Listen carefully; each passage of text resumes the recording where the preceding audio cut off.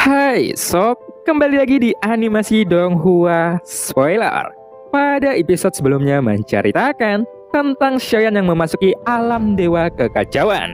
Yang mana di sana, sosok nomor 6 tetap mengatakan berasal dari dunia sensi.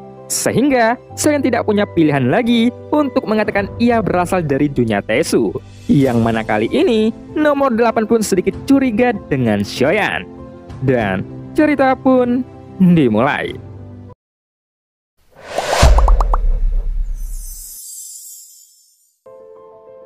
Setelah nomor 8 selesai berbicara, suasana pun menjadi hening beberapa saat. Karena masalah ini berasal dari Shoyan, sehingga itu banyak menimbulkan kecurigaan banyak orang. Namun, Shen juga tidak menyangka bahwa si nomor 8 akan mengatakan hal seperti itu. Sehingga, semuanya pun malah berbalik curiga ke si nomor 6. Sebenarnya, aku merasa malu untuk mengatakannya, bahwa sebelumnya, aku pernah mendapatkan armor ini dari orang lain dan aku tidak menyangka setelah aku memperbaikinya, armor itu malah jatuh ke tangan pasukan dunia Tesu. Ucap si nomor 6 sambil menghela napas dalam-dalam. Seolah-olah dia sangat menyesal. Mendengar itu, Shen pun langsung mencibir. Aku tidak menyangka si nomor 6 masih membuat alasan seperti itu. Gumam Shen di dalam hatinya. Aku sudah tahu jika ada makhluk dunia lain yang meniru armor dewa palsuku. Namun, aku tidak menyangka ternyata armor itu ditiru oleh makhluk dunia sensi. Ucap Shoyan dengan tegas. Meskipun Shoyan dan si nomor 6 tidak punya dendam secara langsung, tetapi dapat terlihat dengan jelas bahwa di antara mereka berdua ada rasa permusuhan yang sangat besar. Adapun si nomor 8, dia sepertinya menyiram minyak ke kobaran api.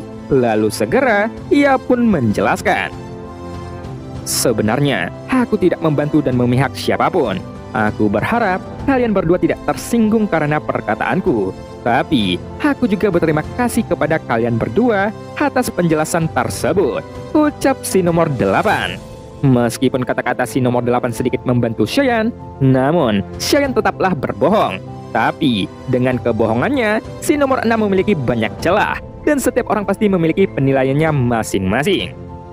Nomor 9. Aku telah meningkatkan armor yang kamu pesan sehingga kekuatan armor tersebut telah meningkat pesat. Aku juga memadukan nyala api ke dalam armor ini. Karena kamu adalah seorang alkemis, aku berharap itu bisa berguna. Ucap si nomor 8 yang segera mengubah topik pembicaraan untuk mencairkan suasana yang tegang. Mendengar itu, Shen pun mengangkat alisnya. Karena si nomor 8, suasana yang tadinya tegang pun menjadi lebih cair. Armor yang dia pesan pun sesuai dengan keinginannya. Tapi, Shen juga tidak menyangka bahwa si nomor 8 begitu memperhatikannya. Sampai-sampai, ia menambahkan nyala api ke dalam armornya. Dan usaha Xiaoyan yang menyempurnakan pil obat si nomor 8 pun, itu menjadi tidak sia-sia. Adapun apa yang dikatakan si nomor 8 tadi, si nomor 8 sebenarnya sengaja mengatakan itu.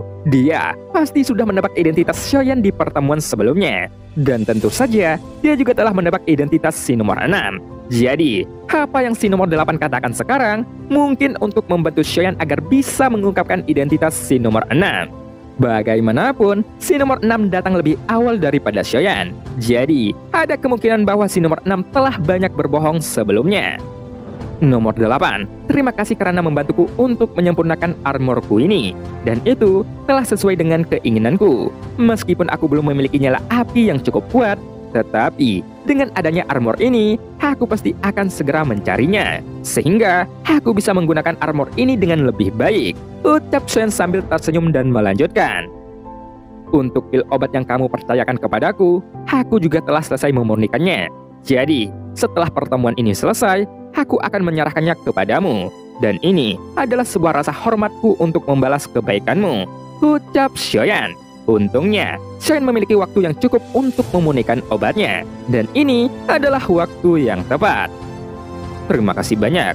Untuk komisi yang kamu inginkan, kamu bisa mengatakannya. Ucap si nomor 8 yang menjawabnya dengan nada suara yang sedikit lebih menyenangkan. Jelas, kabar inilah yang paling ingin didengar si nomor 8. Bagaimanapun, si nomor 8 sudah lama ingin memunikan pil obat ini. Tetapi, karena dia kesulitan untuk menemukan alkemis tingkat tinggi, dia pun menunda untuk menyempurnakan obatnya. Tapi, untungnya dia bertemu dengan Shen di pertemuan alam dewa kekacauan ini, dan dia pun bisa menyempurnakan pil obatnya. Penyempurnaan pil obat yang kamu percayakan kepadaku, kamu tidak perlu memikirkan tentang komisinya. Lagi pula, kamu telah membantuku untuk meningkatkan armorku. Jadi, itu sudah saling menguntungkan. Tapi, jika ada kesempatan di masa depan, aku harap kita akan selalu bekerja sama. Ucap Shen sambil tertawa pelan. Dan untuk pil obat si nomor 4 dan 5, itu juga telah selesai aku sempurnakan. Dan aku akan memberikannya kepada kalian. Ucap Shayan dengan perlahan. Mendengar itu, si nomor 4 dan 5 pun segera merespon dan mengucapkan terima kasih. Namun, setelah Shayan mengetahui identitas si nomor 4, tiba-tiba Shayan pun mengerti mengapa si nomor 4 ingin menyempurnakan pil penawar racun Tianling. Alasannya, dia harus menyempurnakan pil penawar racun ini adalah di dunia Dewa Iblis hanya memiliki sedikit alkemis tingkat tinggi. Lagi pula, kualitas pil penawar racun yang dimurnikan oleh Shayan itu sangatlah tinggi. Dan mungkin saja, sebelumnya si nomor 4 telah menemukan beberapa alkemis untuk memurnikan pil penawar racun itu. Tetapi, tidak ada satupun dari mereka yang berhasil menyempurnakannya. Seperti yang aku katakan sebelumnya, aku berasal dari dunia Tesu. Jadi, tujuan aku sekarang adalah menginvasi dunia Sensi Inilah cara dunia Taisuku untuk bertahan hidup. Dan kami masih dalam masa pengasingan. Jadi, tidak ada informasi yang bisa aku sampaikan. Ucap Shoyan dengan tenang. Dan sekali lagi menegaskan bahwa dia berasal dari dunia Taisu. Meskipun sebenarnya ini sama saja dengan memberi si nomor 6 petunjuk. Bagaimanapun, semua orang memiliki penilaiannya masing-masing. Karena tidak sulit untuk menebak dari percakapan tersebut. Apakah kebenaran diungkapkan atau tidak, itu sudah tidak penting lagi saat ini. Shoyan membuat hubungan yang tak bersahabat dengan si nomor 6. Namun, semua orang tidak ingin ikut campur. Nomor 9, bisakah kamu menyempurnakan pil obat lagi untukku? Dan untuk komisinya, kamu bisa memberitahuku apa yang akan kamu inginkan. Ucap si nomor 4. Tentu saja, tapi saat ini aku masih belum bisa memberikan kamu kepastian karena aku sedang dalam masa pengasingan. Ucap Xian yang menjawab. Setelah Xian sering memunikan banyak pil obat tingkat dewa, secara bertahap Xian memiliki kepercayaan diri untuk menyempurnakannya. Meskipun dalam pemunihan ini agak sulit, tetapi kesulitan seperti ini membuat keahlian Xian pun meningkat. Selain itu, Xian pun jadi mengingat kembali perasaan memunikan pil obat di masa lalu dan itu bahkan sangat menguntungkan bagi Cheyenne karena dia juga bisa mendapatkan banyak resep obat bermutu tinggi dari mereka.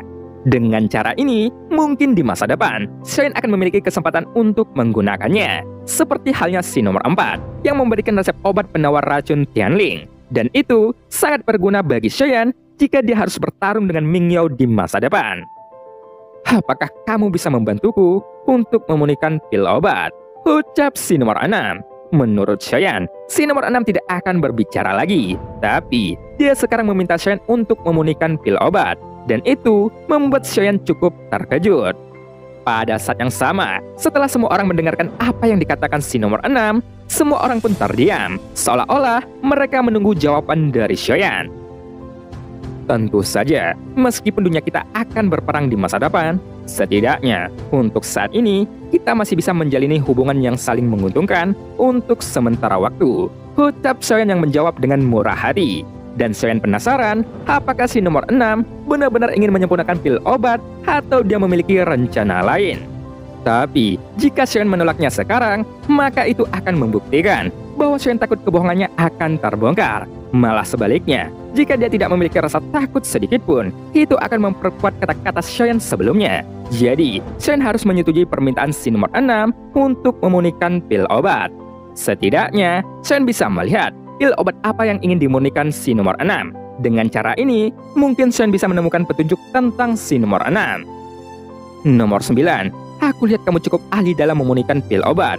Apakah kamu ingin bekerja sama denganku sekarang? Lagi pula, aku memiliki beberapa resep di sini, dan aku juga telah mengumpulkan bahan obat yang cukup banyak.